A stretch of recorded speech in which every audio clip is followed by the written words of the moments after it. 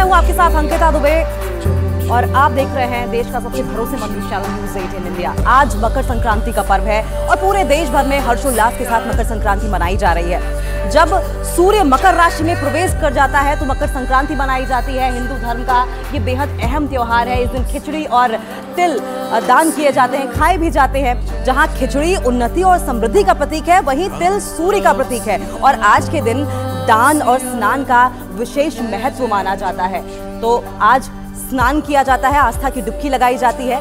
साथ साथ दान भी किया जाता है और कहा जाता है कि दान करने से आ, आपके तमाम जो पाप हैं वो कट जाते हैं समृद्धि आपके घर आती है और हम सीधा हमारे दो सहयोगी इस वक्त अयोध्या में मौजूद हैं। उनका रुख करेंगे और उनसे जानेंगे आज मकर संक्रांति के दिन अयोध्या में किस तरीके से आस्था की डुबकी लगाई जा रही है। और सबसे पहले हम, मोनिका, आपका रुख करेंगे। हम देख पा रहे हैं आपके पीछे आस्था की डुबकी लगाने के लिए लोगों की मौजूदगी है। आज तो वैसे भी स्नान और दान का विशेष महत्व माना जाता है।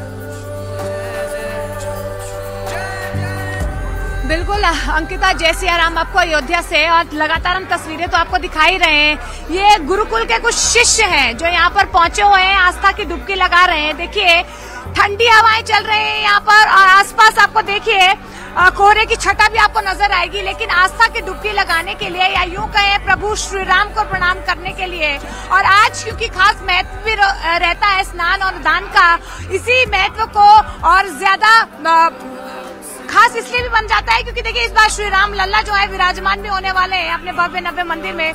तो एक अनोखा प्रारूप जो आपको अयोध्या में नज़र आ रहा है। आप देखिए ये मेरे पीछे गुरुकुल के कुछ शिष्य हैं मंत्रोच्चारण यहाँ पर कर रहे हैं और पूजा पद्धति जो है लगातार हो रही है। कुछ लोगों से भी हम बातचीत करने की कोशिश करते थे कि कुछ महिलाएँ यहाँ पर आई हुई हैं जो स्नान कर रही हैं।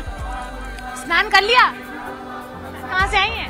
अयोध्या से। अयोध्या से ही है।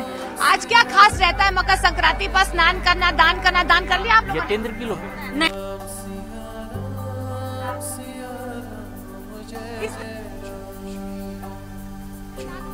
आ रही है। जी और हमारे सहयोगी यतेंद्र भी अयोध्या में मौजूद हैं। यतेंद्र आज का दिन बेहद खास। कुछ छठा निराली सी है। सूर्य उत्तरायण हो रहे हैं। और 22 जनवरी के लिए जोशो खरोश भी तमाम भक्तों में। क्या आज वहाँ लोग रिएक्ट करते दिखाई दे रहे हैं, जिनके बीच आपकी मौजूदगी है? मैं अभी हनुमान गढ़ी में हूँ क्योंकि लोग सरयू में स्नान करने के बाद हनुमान जी के दर्शन करने आ रहे हैं और उससे कुछ कदम की दूरी पर ही भगवान राम बाल स्वरूप में विराजमान है। तो लगातार अलग अलग जगहों से श्रद्धालु यहाँ पर आ रहे हैं। कहाँ से आए आप लोग? हम लोग भैया चित्रकूट धाम करवी से आए हैं। तो क्या स्नान किया मकर संक्रांति हमने सरयू नदी में स्नान किया है। हाँ। मनोकामना किया?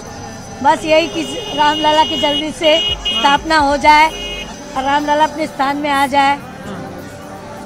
बहुत बड़ी खुशी होंगी सुख शांति हाँ। जीवन में सुख शांति रहे सबके। अच्छा। और क्या लग रहा है अयोध्या आकर आपको किस तरह का फील हो रहा है? बहुत बढ़िया फील हो रहा है। एक नई ऊर्जा का संचार हो रहा है। हम्म। नई एनर्जी आ रही है। अच्छा नई एनर्जी आ रही है। हाँ कहाँ से आए आप? मध्य प्रदेश मध्य प्रदेश में कहाँ से? राजगढ़ जिला। राजगढ़ जिला। क्या कैसा लग रहा है अयोध्या? सर बहुत बढ़िया लग रहा है हमें। अभी में स्नान किया कि नहीं? सरजू जी में अभी नहीं कल गए थे हम। कल गए थे अभी स्नान नहीं किया नहीं किया। आप लोग कहाँ से आए हैं? हाँ अमरावती महाराष्ट्र से आए हम महाराष्ट्र क्या अयोध्या आकर कैसा फील हो रहा है? काफ़ी नया दिख रहा है यहाँ पर। इसके पहले हम आकर गए थे तो कुछ भी नहीं था। अभी काफ़ी नया सब कुछ दिखने लगा है। रोडें बनने लगी है। आप कहाँ से आए हैं? हम अमरावती से आए हैं। अमरावती पूरे पूरे अमरावती से आए हुए दर्शन हुए कि करने जा रहे दर्शन दर्शन हुए दर्शन हो गए। घूम के आए पूरा परिसर घूम के आ गए हम। में स्नान? शरू में स्नान करने जाएँगे अभी। अभी जाएँगे अभी जाएँगे। थोड़ा सर्दी लग रही है सर्दी सर, सर्दी की वजह से हम लेट चल रहे हैं लेकिन हम शरू में जाएँगे अभी। ये अभी में जाएँगे। श्री राम जय श्री राम जय श्री राम पवन सुत हनुमान की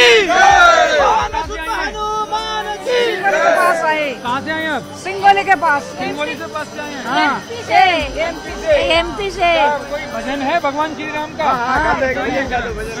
श्री राम जय राम जय श्री राम जय राम जय जय राम। श्री राम जय राम जय जय राम।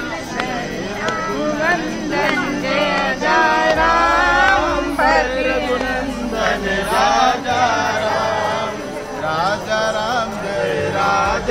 राम कृष्ण जय सीता श्री राम जय राम, जय जय राम श्री राम जय राम, जय जय राम जय रघुनंदन, राजा राम।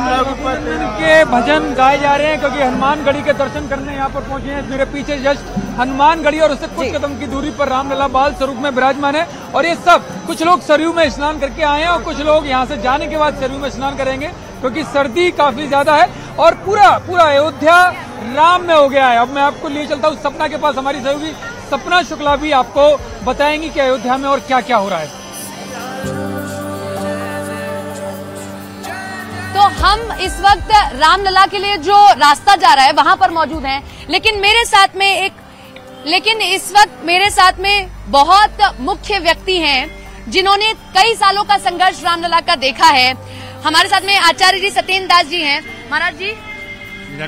इधर इधर इधर इधर महाराज जी कैसा लग रहा है? मंदिर बन गया। चलते चलते थोड़ा सा अगर बात बहुत, करें। बहुत अच्छी बात है। हाँ। और ये मंदिर बनना क्योंकि हाँ। रामलला अट्ठाईस हाँ। 28 वर्ष तिरपाल में रहे। हाँ। और उस तिरपाल में जो समस्याएँ रही हाँ। प्रकृति की प्रकोप हाँ। वर्षा ठंडी गर्मी सभी का प्रभाव अच्छा, पड़ता था देख के बताइए पहले ऐसी अयोध्या कहीं देखी है नहीं नहीं हाँ? ऐसा नहीं यहाँ नहीं हाँ?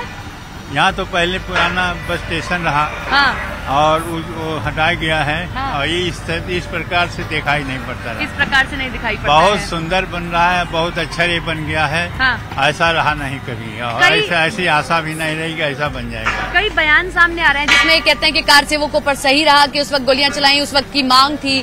फिर कह रहे हैं कि गरीबों में दान दीजिए ये कौन सा आप कौन सा बड़ा काम कर रहे हैं? ये कैसे देखते हैं आप इसको? देखिए कहने वाले अपना कहा करते हैं और विशेषकर वो लोग कहते हैं जो सनातन विरोधी हैं। और ऐसे सनातन विरोधियों के बयान के कोई महत्व नहीं रखता जो हमारे रामला के समर्पित हैं और यह करते रहते हैं। हाँ।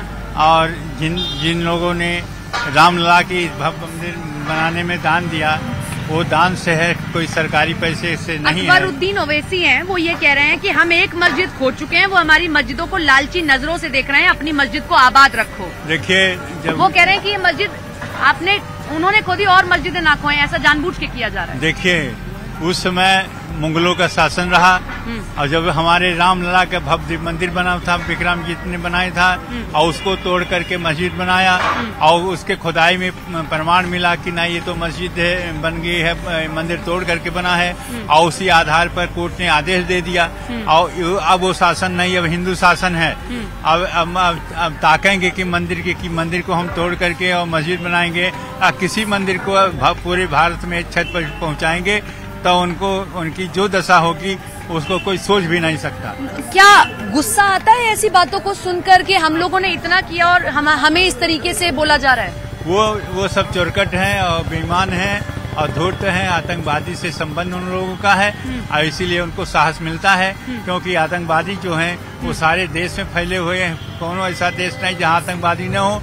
तो आतंकवादी होने के कारण से वह इस प्रकार से भारत अच्छा आप उन्हें आतंकवादी कह रहे हैं? वो आतंकवादी है ही है। अकबरुद्दीन ओवैसी हाँ वो सब। आतंकवादी से मिले हैं वो सब। वो कह रहे हैं आप लोगों ने ज़बरदस्ती मस्जिद को तोड़ा जानबूझ के किया गया। आप क्योंकि तीस सालों से उनकी सेवा कर रहे हैं बताइए जरा यहाँ क्या क्या हुआ करता था और क्या हुआ है? अत्यंत सुंदर अयोध्या बन रही है। हाँ। जो त्रेता युग अयोध्या रही इस प्रकार के बनाने के हमारे माननीय जो जोगी जी और मोदी जी कर रहे हैं। और उसके बाद में इसको कह रहा कि हमारी मैया तुम जब तुम्हारी तोड़ी गई तब तुमने तो कभी ध्यान नहीं दिया कि हम मंदिर के क्यों तोड़ रहे हैं। तुम्हारे पूर्वज मंदिर तोड़ा यहाँ तोड़ा और मथुरा में तोड़ा उधर क्या कहते हैं काशी में तोड़ा इस सारे मंदिर को तोड़ करके मस्जिद बना लिया। और अब इस प्रकार की भाषा बोलते हो और ये इस साहस इनको इसलिए हो रहा है कि सीधे आतंकवादी से मिले अच्छा, हुए हैं। और आतंकवादी आतंकवाद करा सकते हैं। जैसा कि कई बार यहाँ राम जन्मभूमि पर जब रामलला तिरपाल में थे तभी आतंकवादी आए थे सब मारे गए यहाँ। अच्छा एक बात और बताइए मैं आपको कई मर्तबा मिल चुकी हूँ देख चुकी हूँ आप भाव विभोर हो जाते हैं बताते बताते कि कई सालों तक टेंट में बैठे तब जाकर अब यहाँ बैठ रहे हैं आके। कैसा लगता है अपने मन से कैसा लगता है कि कितनी बार मैंने टेंट में रहकर सेवा की थी? देखिए तमाम समस्याएँ रही टेंट में। क्या समस्याएँ कभी कभी रही थी? लगता था मंदिर बनेगा। नहीं समस्या इतनी रही टेंट में रामलला को हमको भी सबको हाँ। सबको। तो उस समय उस समय की बात जो है अब याद आती है हाँ। कि क्या ऐसे भी भव्य मंदिर बन जाएँगे? लेकिन भगवान कोई मन- याद है आपको? हम भगवान को ये आत्मबल मिलता था कि नहीं? यहाँ से परिवर्तन ज़रूर होगा। और वो परिवर्तन हुआ और अब भव्य मंदिर बन गया है। अब हमारे रामलला उस भव्य मंदिर में विराजमान होंगे। और यह जो कार्य हुआ है यह वर्तमान समय में जो हमारी सरकार है उसका देन है। ये सौभाग्य आप कहते हैं कि आपका है कि आपने संघर्ष देखा लेकिन अपने सामने बनता हुआ ये भव्य राम मंदिर भी देख रहे हैं। ये बहुत अच्छा है कि कम से कम उस त्रिपाल 28 वर्ष तक त्रिपाल में हम पूजा किए। और इतनी परेशानियाँ रही और जो इसके रिसीवर थे, उसी के माध्यम से सब काज होता था। कोई आवश्यकता पड़े तो रिसीवर से कहना पड़ता था और रिसीवर कहें, जब तक कोर्ट के आदेश नहीं होंगे तो हम नहीं कर पाएँगे। इस तरह से बात चलती रही और इसीलिए पूरा सामान भी और कुछ नहीं मिलता था। इसलिए भगवान की बड़ी परेशानी रही। पूजा अर्चना, भोग, राग रख रखाव सब में और वर्षा हो, पानी छीटा वहाँ अंदर जाता था। गर्मी रही तो वो एक पंखा चलता था मात्र उसके बाद ठंडी में एक पंखे में रामलला रहते थे। हाँ एक पंखा और पानी जब बरसता था तो टप टप टपकता हाँ, होगा टेंट में। वो जब फट जाता था टपकता हाँ। था उसके बाद में फिर कोर्ट का आदेश लेना पड़ता था तब हमें याद आया इतना घी वगैरह आ रहा है। कभी ऐसा भी दिन था कि एक दीपक जलाने के लिए भी कमी पड़ती और आज इतना घी और सब आ रहा है? दीपक में ऐसा हुआ कि हाँ। दीपक अखंड दीपक जला ही नहीं सकते थे। अच्छा। दीपक केवल उतना ही जलता था आरती का। केवल आरती जो करते थे हाँ। वह दीपक जलता था। बाकी दीपक हम जला नहीं सकते थे। हाँ। उस सब पर प्रतिबंध था क्योंकि कपड़े का जो बना हुआ मंडप था हाँ। इसलिए वहाँ रोक रही। कोई किसी प्रकार की यदि ठंडी में चाहे कि थोड़ा कुछ लकड़ी जलाने वो सब बंद रहा वहाँ पूरे परिसर में, और किसी प्रकार का कोई भी कार्य जो चाहे कि सुलभता से हो जाए, वो नहीं होता था, बहुत परेशानी थी। पूजा पद्धति बदल गई है। बस एक बात आप ये बता दीजिए, क्योंकि पंडित जी खड़े होने में ज़्यादा असमर्थ नहीं है, बुज़ुर्ग हैं, बहुत सालों से सेवा कर रहे हैं, और परेशान आपको नहीं करेंगे। बस इतना बताइए पूजा पद्धति और दूसरा आज मकर संक्रांति है। विशेष भोग आज का क्या लग रहा है देखिए आज तो खिचड़ी का भोग लगेगा और खिचड़ी में पूरी भी बनेगी सब्ज़ी बनेगी खिचड़ी बनेगी। उसमें दही पापड़ और अचार रहेंगे और उसका लड्डू लड्डू रहेगा क्या कहते हैं तिल का ये सारे चीज़ के भोग लगेंगे। और भोग लगने के बाद में तो वहाँ यहाँ प्रसाद वितरण होगा। इस प्रकार के जो आज संक्रांति का कार्य है क्यों आज जो है हाँ। सूर्यनारायण हाँ। सूर्य जो भगवान है हाँ। वो दक्षिणायन से उत्तरायण हो चुके हैं। ठीक है। महाराज जी बस एक चीज़ और जानना चाहूँगी संक्षिप्त में आप बता दें आज हो गई पंद्रह तारीख मात्र कुछ दिन और बचे हैं।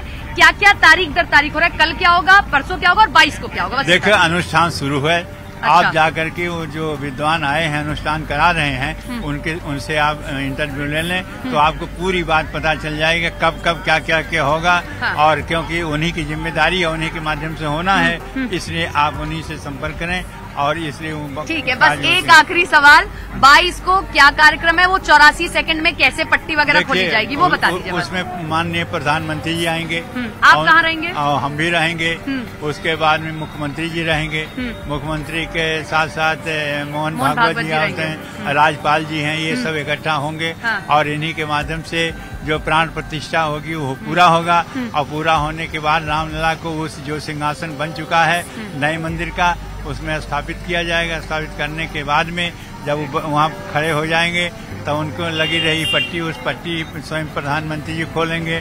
उसके बाद शीशा दिखाएँगे और काजल लगाएँगे। ये काजल सारे लगाएँगे। ये सारे काज जो है। जो मूर्तियाँ इतने दिनों से इनका क्या होगा? ये ये भी मूर्ति ये मूर्ति वही वही स्थायी जाएँगी। हो सकता है कि हाँ। जैसा सुने आता कि हाँ। इनको पहले स्थापित हाँ, कर हाँ। देंगे हाँ। तो हो सकता पहले नहीं तो जिस दिन वो रामलला स्थापित होंगे नए वाले मतलब। उसी दिन ये मूर्तियाँ जो पहले पूजित हैं है। ये भी रखी जाएँगी एक बार ज़ोर से जय सिया राम जय श्री राम जय श्री राम बहुत बहुत शुक्रिया जुड़ने के लिए और बहुत बहुत माफ़ी भी कि आपको इतनी देर परेशान किया हमने खड़ा रखा और ये हमारे साथ में मुख्य अर्चक थे अमित हमारे साथ हमारे सहयोगी बने हुए अमित क्या तस्वीरें दिखा रहे हैं आप जरा दिखाइए अयोध्या से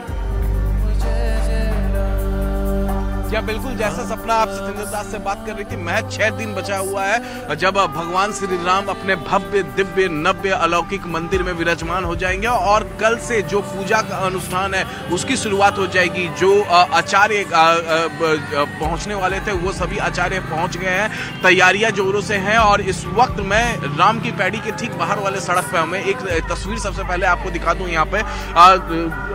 सुबह से ही लोग यहाँ पर नहाने के बाद आज नहान खान है। मकर संक्रांति है तो लिहाजा सुबह से ही लोग यहाँ पर नहान, कान के, नहाने के बाद सीधे हनुमानगढ़ी जा रहे हैं दर्शन पूजन करने के लिए। और एक तस्वीर आपको यहाँ पर दिखाता हूँ।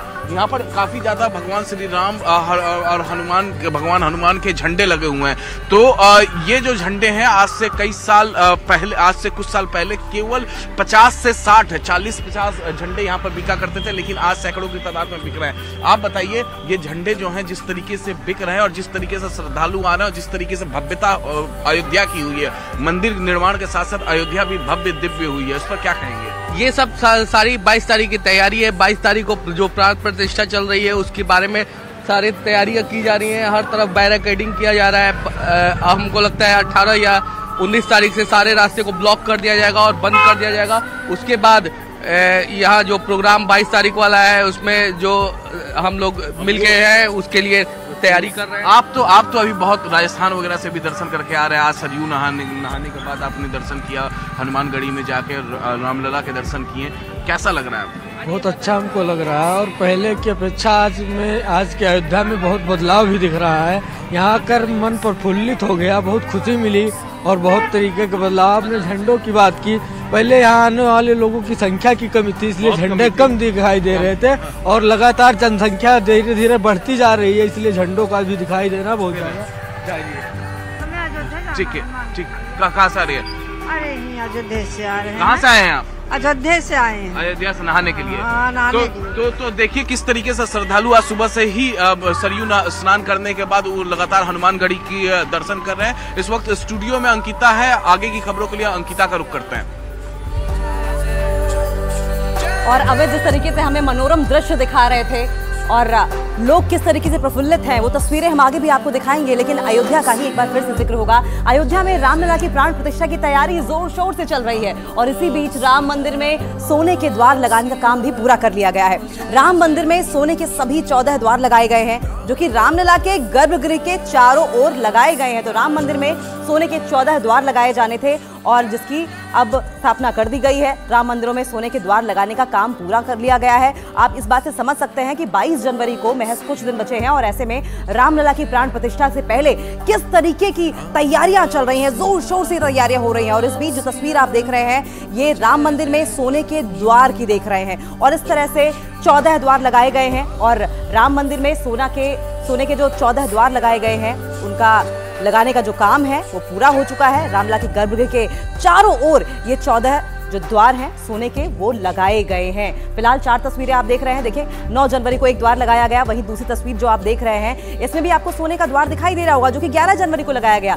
आज आप तस्वीर देख रहे हैं मकर संक्रांति थी कल भी मानी जा रही थी, आज मुख्य मकर संक्रांति मानी जा रही थी। ऐसे में तीसरी और चौथी तस्वीर, यानी कि 14 जनवरी और 15 जनवरी की तस्वीर आप देख रहे हैं, जबकि तमाम वहाँ पर वर्कर्स जो थे, वो मौजूद थे और इन दरवाजों को रामलला के जो द्वार हैं, मुख्य द्वार हैं, वहाँ पर लगा रहे थे। तो सोने के चौदह द्वार लगाए जा चुके हैं। इनका काम पूरी तरीके से पूरा हो चुका है और ऐसे में अयोध्या नगरी आज राममय दिखाई दे रही है। हर ओर मनोरम दृश्य देखने को मिल रहा है। और राम के नारे और जय श्री राम के नारों के साथ साथ राम के भजनों से गुंजायमान पूरी अयोध्या नगरी दिखाई दे रही है।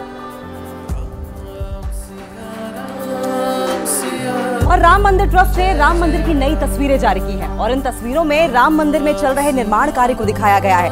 साथ ही मंदिर के अंदर रोशनी और मंदिर में लगाए गए सोने के दरवाजे भी दिखाए गए हैं। 22 जनवरी को रामलला की प्राण प्रतिष्ठा होनी है और उससे पहले राम मंदिर का निर्माण तेज़ी से किया जा रहा है। मंदिर निर्माण में जुटे कारीगर दिन रात काम में लगे हुए हैं। तो जिस तरीके से तमाम श्रद्धालु जो कि राम मंदिर में प्राण प्रतिष्ठा का इंतज़ार कर रहे हैं, एक झलक पाने को बेकरार रहते हैं, ऐसे में राम मंदिर ट्रस्ट की ओर से धीरे धीरे करके कुछ कुछ तस्वीरें ऐसी हैं जो जारी कर दी जाती हैं, जिससे कि जो तमाम श्रद्धालु, तमाम भक्त हैं, वो कम से कम अगर मंदिर तक पहुँच नहीं पा रहे हैं तो कम से कम तस्वीरों को देखकर ही संतुष्ट हो सके, अपने मन को भर सके। लेकिन राम मंदिर ट्रस्ट ने देखिए, राम मंदिर की नई तस्वीरें जारी की हैं। और इन तस्वीरों में आप देखेंगे कि राम मंदिर में निर्माण कार्य जो चल रहा है वो और तेज़ी के साथ किया जा रहा है। साथ ही मंदिर के अंदर रोशनी की व्यवस्था की गई है। मंदिर में लगाए गए सोने के दरवाजे भी हैं। चौदह मुख्य दरवाजे हैं। जिनको लगाने का काम अभी तक पूरा हो चुका है। 22 जनवरी को रामलला की प्राण प्रतिष्ठा होनी है और इस बीच श्री राम जन्मभूमि ट्रस्ट के कोषाध्यक्ष गोविंद देवगिरी ने बताया कि प्राण प्रतिष्ठा की दृष्टि से जो भी आवश्यक तैयारी होगी, वो तेज़ी से चल रही है। एक और भव्य मंदिर लगभग खड़ा हो चुका है। दूसरी ओर अयोध्या सज धज कर तैयार है। 17 जनवरी के दिन भगवान रामलला अपने मंदिर में प्रवेश करेंगे।